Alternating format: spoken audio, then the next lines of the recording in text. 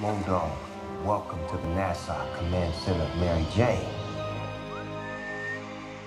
This shit only grows in an isolated pond in Jamaica. It sprouts out of a pink fluorescent moss patch. Pink fluorescent? Mm, mm, mm.